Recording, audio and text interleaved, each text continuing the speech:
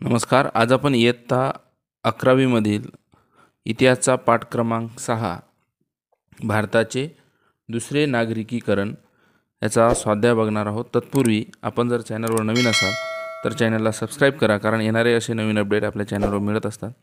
त्यामधील प्रश्न क्रमांक एक आहे दिलेल्या पर्यायांपैकी योग्य पर्याय निवडून विधाने पूर्ण लिहा. यामधील पहिला आहे अश्मक हा शब्द रिकामी जागा या भाषेतील आहे. याचे पर्याय आहेत पाली संस्कृत अर्धमागधी आणि प्राकृत. तर याचा योग्य पर्याय असेल अश्मक हा शब्द संस्कृत या भाषेतील आहे. दुसरं आहे काशी या महाजनपदाची रिकामी जागा येथे राजधानी होती. पर्याय दिलेले आहेत गोरखपूर ब आहे चंदानगर क आहे राजगृह आणि ड आहे वाराणसी. तर याचा योग्य पर्याय असेल वाराणसी. तिसरा आहे गौतम बुद्धांचा जन्म रिकामी जागा येथे झाला. पर्याय आहेत कुशीनगर सारनाथ क आहे लुंबिनी आणि ड आहे पाटलीपुत्र. तर याचा योग्य पर्याय बरोबर असेल क लुंबिनी. गौतम बुद्धांचा जन्म लुंबिनी या ठिकाणी झाला. त्यानंतर चौथा आहे उत्तर पांचाल. व दक्षिण पांचाल साम्राज्याची रिकामी जागा नदी ही नैसर्गिक सीमा आहे. पर्याय दिलेले आहेत अ यमुना ब आहे भागीरथी क गंगा आणि ड आहे निरंजन. तर याचा योग्य पर्याय बरोबर असेल. भागीरथी उत्तर पांचाल व दक्षिण पांचाल साम्राज्याची भागीरथी ही नदी नैसर्गिक सीमा असलेली आपल्याला दिसते. यानंतरचा प्रश्न आपला चुकीची जोडी दुरुस्त करून आपल्याला लिहायची आहे. तर यामधील दिलेलं आहेत कोसल श्रावस्ती अंग चंपा त्यानंतर मत्स्य मथुरा गांधार तक्षशिला.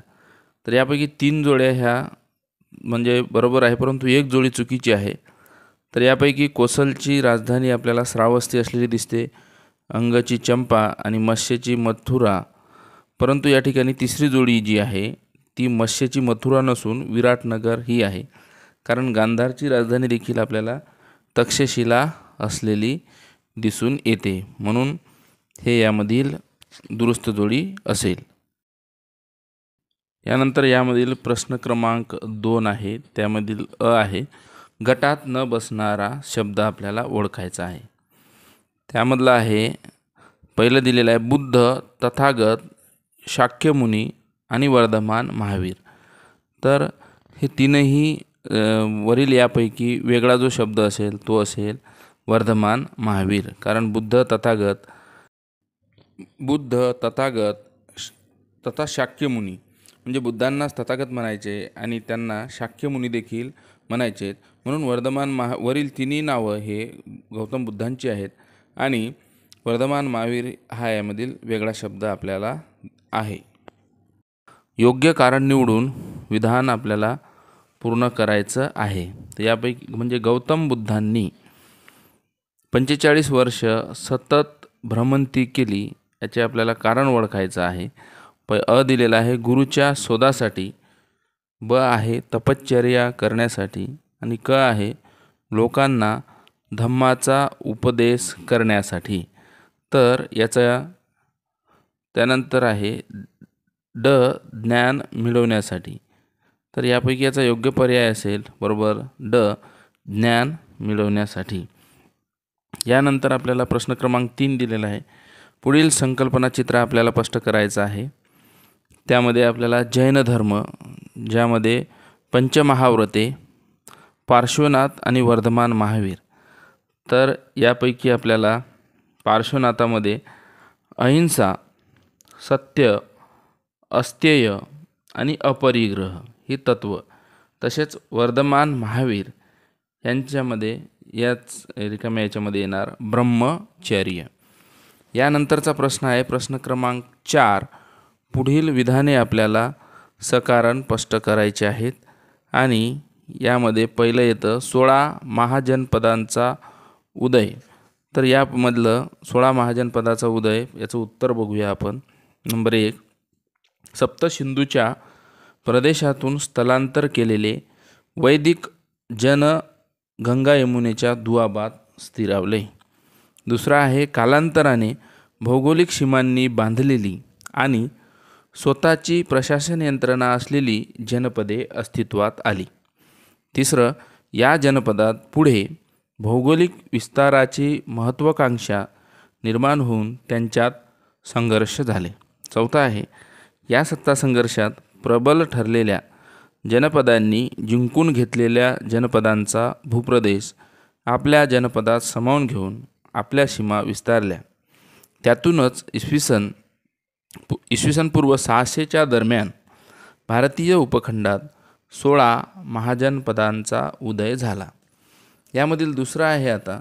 भारतात दुसऱ्या नागरीकरणाची सुरुवात झाली. याचं उत्तर बघूया. पहिला मुद्दा. भारतात स्वतःची स्वतंत्र प्रशासन यंत्रणा असणारी जनपदे निर्माण झाली. दुसरा मुद्दा. कालांतराने त्यांच्यात भौगोलिक सीमांचा विस्तार करण्याची महत्त्वाकांक्षा निर्माण होऊन सत्ता संघर्ष सुरू झाला. या संघर्षातून भारतीय उपखंडात सोळा महाजनपदे अस्तित्वात आली. तिसरा मुद्दा या महाजनपदाच्या राजधान्या आकारात आल्या. अनेक नगरे विकसित झाली. या जनपदांच्या काळातील मातीची भांडी अवजारे नाणी सापडली आहेत. यामधील चौथा मुद्दा आहे या महाजनपदाचा व्यापार वाढला. नगराचे सांस्कृतिक संबंध वाढले. त्यातूनच प्राचीन नागरी हडप्पा संस्कृतीप्रमाणे भारतात दुसऱ्या नागरिकीकरणाची सुरुवात झाली. यानंतरचा तिसरा प्रश्न आहे यामधील. वर्धमान महावीर आणि गौतम बुद्ध यांना अनेक अनुयायी मिळाले. याचं उत्तर पहिला मुद्दा वर्धमान महावीर आणि गौतम बुद्ध यांनी वैदिक काळातील वर्णव्यवस्थेला नकार देऊन सर्वांना आपलेसे केले. दुसरा मुद्दा. सामाजिक विषमता नष्ट करण्याचा त्यांनी प्रयत्न केला.